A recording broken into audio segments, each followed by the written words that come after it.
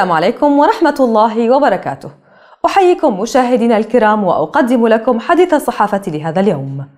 عصرنا عجيب تسمى فيه الأشياء بغير مسمياتها، فحزب الله هو حزب للشيطان، وفيلق القدس يقاتل في كل مكان عدا القدس.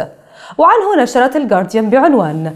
الجنرال الإيراني قاسم سليماني يدير العراق سرا حيث أبرزت الاهتمام غير الاعتيادي الذي عم مؤخرا وسائل الإعلام الإيرانية برئيس العمليات الخارجية في الحرس الثوري وقائد فيلق القدس اللواء قاسم سليماني.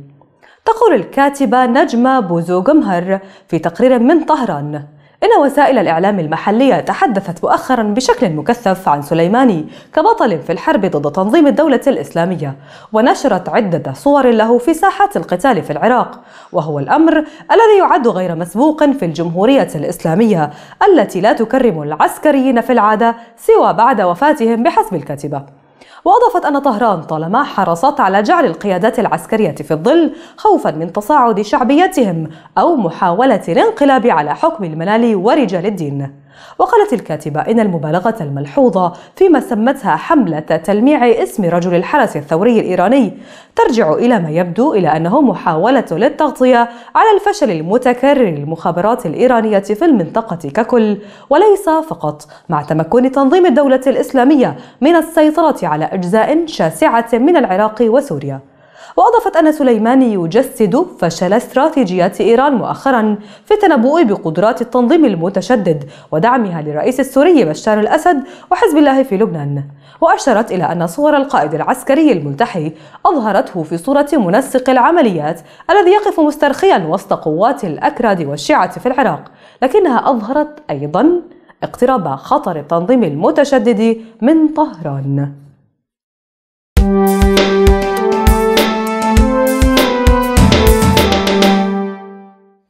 المتطرفون يتصارعون والشعوب هي الضحية. صحيفة الشرق الأوسط نشرت مقالا لعبد الرحمن الراشد بعنوان التطرف السني ضد التطرف الشيعي جاء فيه. كانت الحجة الوحيدة التي سمعتها ردا على ما كتبته قبل يومين عن خطر انتشار التطرف بأن محاصرة التطرف السني تصب في خدمة دول مثل إيران التي تدعم متطرفيها الشيعة في كل مكان. أولاً المبدأ برمته خاطئ فالتطرف خطر اولا على المجتمع الذي يولد ويترعرع فيه وثانيا من يظن أن التطرف حالة موجودة والأسلم لك ألا تقف في وجهه حتى لا يدهسك؟ وربما الأفضل أن يستخدم كما تفعل إيران والنظام السوري فإنه سيكتشف لاحقا كم هو غال الثمن الذي سيدفعه. ولقد دفعنا أثمانا غالية في الماضي عندما حاولنا ركوب غول التطرف الجامح فأحرقنا ببداياته في أفغانستان. ماذا عن نظرية ترك التطرف؟ يقارع التطرف؟ وردا على مقولة ليس من الحكمة. لجم التطرف السني طالما أن إيران وجماعاتها لا تلجم التطرف الشيعي فإن النتائج تحكي عن نفسها. فمعظم متطرفي السنة هاجموا بلدانهم ومجتمعاتهم رغم أدبياتهم التكفيرية ضد الطوائف والأديان الأخرى. وأكثر من 90% من عمليات الجماعات الإرهابية السنية موجهة ضد المجتمعات السنية. وموثقة في سبعة دول شهدت أعمال عنف بدرجات مختلفة. ختاما العبث بالدين والسكوت عن استخدامه. ثبت أنه أخطر من كل الأسلحة التي استخدمت في الحروب. وغالبا يرتد على صدر المجتمع الذي تحول إلى معمل كيميائي له.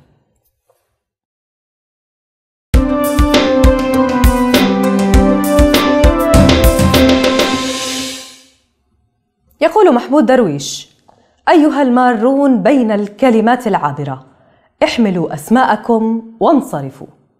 كيف سينصرفون؟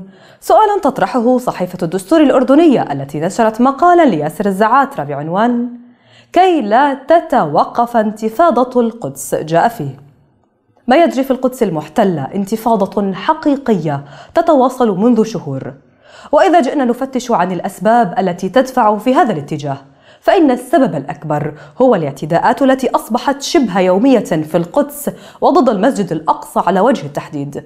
وحيث يشعر الصهاينة أن الأجواء الدولية والإقليمية يمكن أن تكون مواتية من أجل فرض وقائع جديدة في المدينة المقدسة. من جانب آخر بات واضحا أن الكيان الصهيوني يزداد ميلا نحو اليمين واستطلاعات الرأي تؤكد ذلك كما تؤكد وجهته الدينية. ما يعني أن ملف القدس سيغدو أكثر حساسية وإثارة.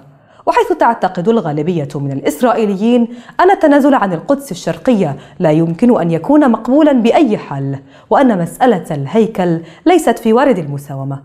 إنه الصراع على هذا الكيلومتر المربع الذي أفشل مفاوضات كامب ديفيد صيف العام 2000 وأفشل مفاوضات عباس مع أولمرت أيضا. وسيفشل أي إمكانية للتسوية مع الكيان الصهيوني مهما بدا. أن الوضع العربي في حالة بطاح أمام الكيان الصهيوني. عمليات الدهس التي توالت مؤخرا ضد الجنود والمستوطنين الصهاينة تؤكد أن الشباب الفلسطيني قد بدأ يفكر في طرق مبتكرة لمواجهة قلة السلاح الناتجة عن عشر سنوات من التنسيق الأمني المحموم ومثلها من المطاردة والقمع من قبل أجهزة الاحتلال. ثمة غضب كبير يتراكم في القدس. وإذا كانت انتفاضة الأقصى قد اندلعت ردا على حادثة وقع منها الكثير خلال الشهور الماضية أعني اقتحام شارون للمسجد. فإن الفارق بين الحالتين يتمثل في القيادة الفلسطينية. ففي حين انسجم عرفات مع نبض الشارع في ذلك الحين يبدو عباس في وضع مختلف تماما إذ يدير ظهره لذلك النبض ويصر على عبثية مساره. خلاصة القول هي أن ما يجري يمثل انتفاضة حقيقية لكنها محصورة في القدس. ومن الضروري أن يتمرد الشارع الفلسطيني في الضفة الغربية على مسار عباس البائس.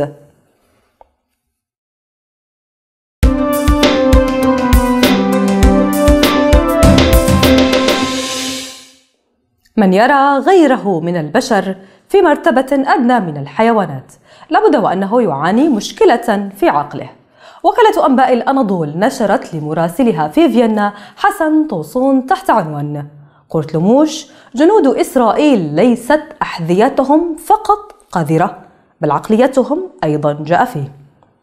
استنكر نائب رئيس الوزراء التركي نعمان قرطلموش الانتهاكات الإسرائيلية بحق المسجد الأقصى قائلا. منذ 47 عاما لأول مرة يدخل الجنود الإسرائيليون إلى المسجد الأقصى بأحذيتهم القذرة. ليست أحذيتهم فحسب بل أرواحهم وعقليتهم أيضا قذرة. وانتقد كورتلوموش في كلمة ألقاها خلال مشاركته بافتتاح مشروع لجمعية تركية في فيينا. انتقد الصمت الدولي إزاء الانتهاكات مضيفا. إن العالم كله يتفرج ولن يقدم على أي خطوة لأن إسرائيل مطمئنة إلى وجود من يدعمها في مجلس الأمن الدولي. وأوضح أن أي قرار يتخذ في مجلس الأمن لن ينفذ لأن النظام يستند إلى القوة والهيمنة ولا يمكن القيام بأي شيء بأي شيء ضد إسرائيل لأن أصحاب القوة يدعمونها حتى النهاية تماما كما هو الحال بالنسبة للأسد فهو يستخدم غاز السارين والبراميل المتفجرة ولا يمكنكم القيام بشيء ضده لأن هناك من يدعمه في مجلس الأمن الدولي وهو يثق بروسيا لذلك يفعل ما يحلو له. وتشهد أحياء القدس شرقية خلال الفترة الأخيرة مواجهات شبه يومية بين شبان فلسطينيين وقوات إسرائيلية واقتحامات متكررة للمسجد الأقصى من قبل مستوطنين إسرائيليين. فيما ينفذ فلسطينيون عمليات دهس بالسيارات تستهدف إسرائيليين كان آخرها هجوم نفذه الشاب المقدسي إبراهيم العكاري الأربعاء الماضي وشمل عملية دهس ما أسفر عن مقتل إسرائيليين وإصابة 13 آخرين. وفي حادث آخر قبله أصاب فلسطينيون ثلاثة جنود إسرائيليين بنفس الطريقة.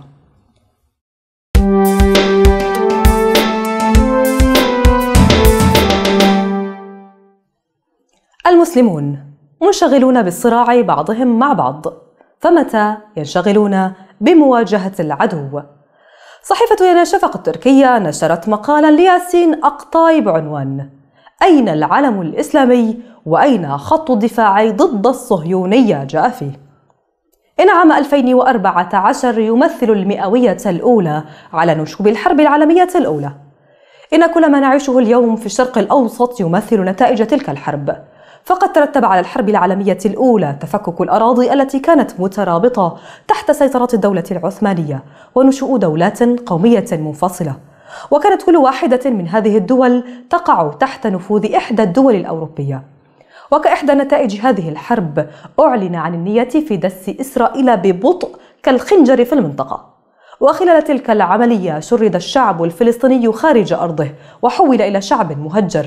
فبينما كان العالم منشغلا بالاستعراضات التي حدثت في كوباني وقضية تنظيم الدولة وإرهابه كانت إسرائيل تجهز لارتكاب أكبر غطرسة تجاه المقدسات الإسلامية والمسجد الأقصى منذ عام 1967 وتدرس ردات الفعل المرتقبة.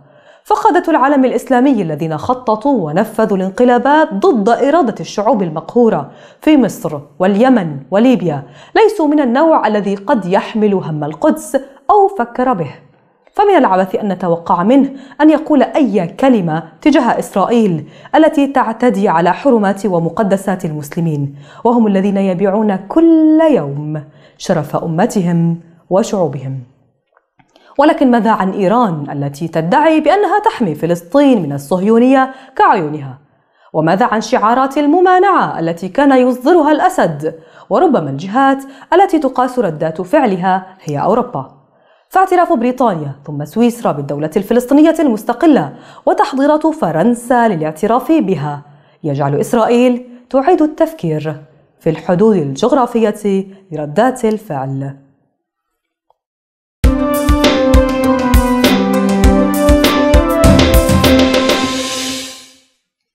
إلى متى؟ نستمر في المراهنة على الغير بدلا من أن نصنع حلمنا بأيدينا؟ موقع أورينت نيوز نشر مقالا لعلاء الدين حسو بعنوان الرهان على أحصنة خاسرة جاء فيه. أصبح سباق الخيل في سوريا من أهم وأشهر السباقات لطول المسافة ولكثرة الحواجز وتنوعها. فهو سباق متعدد متنوع وحر وهو ما يكسبه شهرة وإثارة. جذب العالم والمقامرين والهواة للتفرج أو المشاركة. اكتسبت الثورة السورية صفة العالمية منذ لحظة انطلاق أول شرارة فيها فكانت السبق في اختراع حواجز وعوائق لم يشهد التاريخ مثيلا لها فهي أولى دول الشرق الأوسط التي تفتتت بعد انهيار الدولة العثمانية. وهي أول دولة سجنت فيها الديمقراطية الوليدة وهي بنت سبع أو تسع سنين. وهي أول دولة شهدت انتمائين قوميين كبيرين القومية السورية والقومية العربية على حساب القوميات والأقليات الأخرى المشاركة في تحريرها واستقلالها ودفعت ثمنا باهظا لذلك. ومن الطبيعي أن نشهد التخبط في بداية مسيرتنا الطويلة نحو الحرية والعدالة الاجتماعية. فأحياء القيم في نفوسنا من جديد تتطلب منا خطوات طويلة فهي كالبذرة التي تغرس في الأرض وتسقى بماء إلهي لتشق بعدها طريقها نحو الاخضرار ومن ثم للينوع. وفقدان الأحصنة الرابحة لا يعني تلمس أحصنة قديمة أو المحافظة عليها. والأنظمة القهرية لم تثبت عبر التاريخ استمرارها للأبد ولم يعد مجديا الرهان على الأحصنة الخاسرة وقد فقدت بريقها. وشعوب المنطقة تشهد تحولات جذرية ولها الحق في اختيار أحصنتها وفرسانها وقادتها لتحقيق طموحها وبث روح الحياة في أرواحها وأبدانها. لهذا نقول لا مراهنة بعد اليوم على الأحصنة الخاسرة. ولهذا تسعى ثورات المنطقة جاهدة لمنع هذه الأحصنة الخاسرة من تشبيب أحصنة جديدة فاسدة. وسوريا الحرة القوية قادمة بإذن الله ولو بعد حين.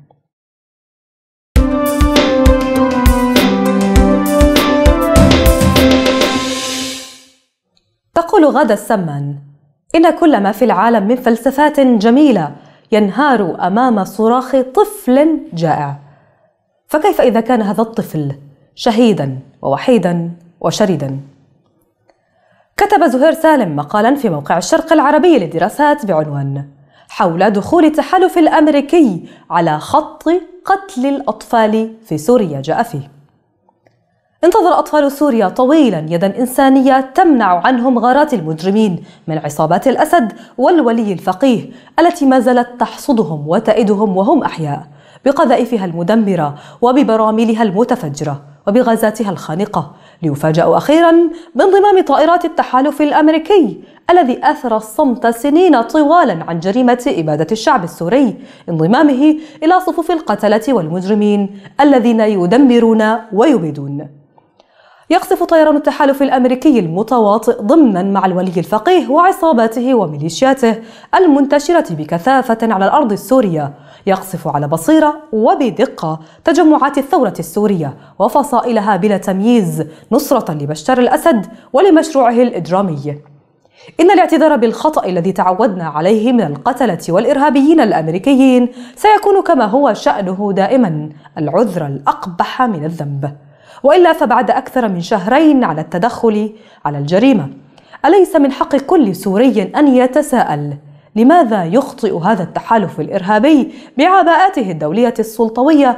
لماذا لا يخطئ مرة واحدة ليقصف قوات بشار الأسد أو تجمعات عصاباته أو ميليشيات الإرهابي حسن نصر الله على الأرض السورية؟ إننا إذ نعلم أنه في عصر سقوط الأقنعة عن المشروع الأممي الأمريكي في الحرية والديمقراطية وحقوق الإنسان. ليسفر عن وجه كريه كالح لا يجدي أن نذكر هذا العالم بمبدأ أو بقانون أو بقيمة إنسانية اجتمع عليها البشر منذ تعرفوا إلى إنسانيتهم في ضرورة حماية المدنيين وتجنيب الأطفال معرات الحروب وآثامها. من هذه المعرفة التي باتت يقينية لدينا ندرك أنه لا جدوى أمام جبروت إرهاب السلطة العالمية أن نعلن إدانة أو شجبا أو استنكارا لما تقوم به طائرة التحالف الأمريكي من قصف لبيوت الآمنين وقتل للأطفال والنساء.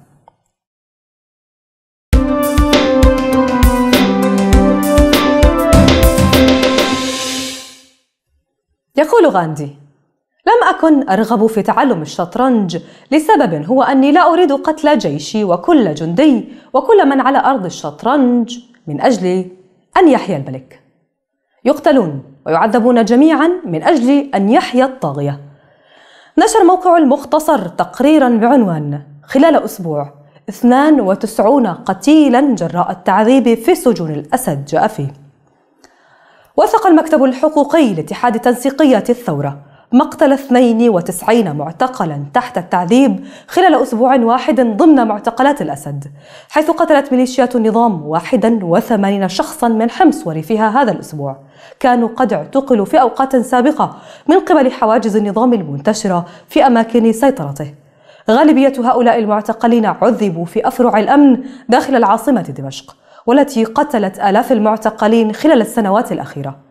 في حين قتل أربعة أشخاص تحت التعذيب من درعا وثلاثة آخرون في دمشق وريفها واثنان من حماة وآخر من حلب ومثله من دير الزور.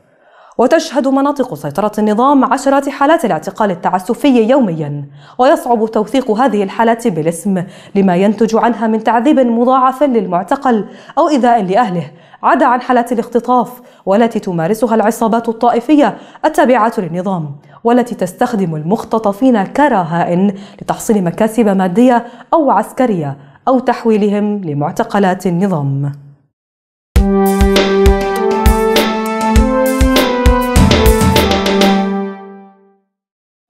الإعلام العالمي لعبة قذرة. تصنع من البطل خائنا ومن الصعلوك بطلا. فمن هو؟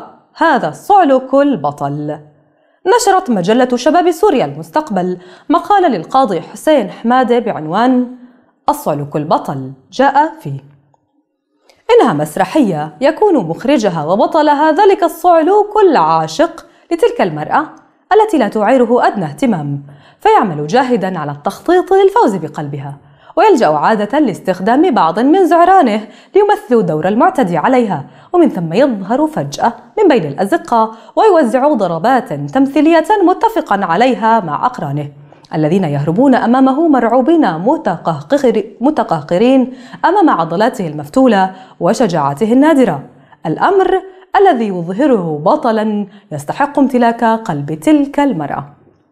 والسؤال هنا هل سنشاهد قريبا إخراج وإنتاج تلك المسرحية مسرحية الصعلوك البطل وإسقاطها على ما يجري من أحداث بسوريا بحسبان أن المناخ العام الداخلي والإقليمي والدولي يهيئ وبعناية فائقة لإظهار بشار الأسد ونظامه المنقذ الوحيد لسوريا الحبيبة والمخلص لها من براثن التنظيم الإرهابي تنظيم دولة العراق والشام داعش. نعم. فالمناخ العام يسمح بإنتاج تلك المسرحية. فالمعارضة المسلحة المعتدلة منقسمة ومتشظية. والمعارضة السياسية لا تشبه الشعب السوري ولا ثورته. ناهيك عن المواقف الهزلية لما يسمى دول أصدقاء الشعب السوري والذين لا ينفكون عن خذلان الشعب السوري والتهجم على قيادة الثورة بحق أو بدونه. وبالمقابل فإننا نرى نظام الطاغية لا يزال متماسكا نسبيا من حيث التنظيم ووحدة الصف والموقف رغم كل ما لقيه من ضربات.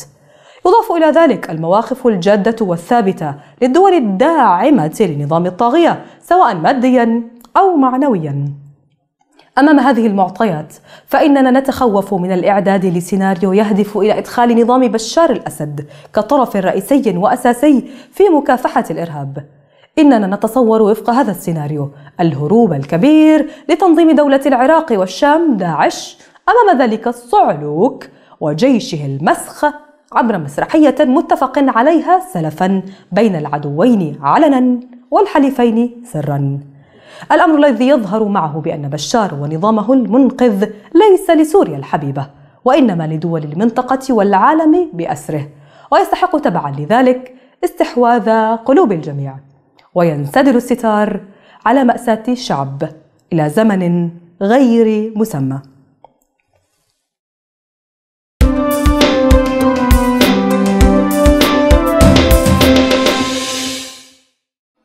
إذا أعطاك القدر ليمونا فاصنع الليمونادة هكذا يقول دايل كارنجي.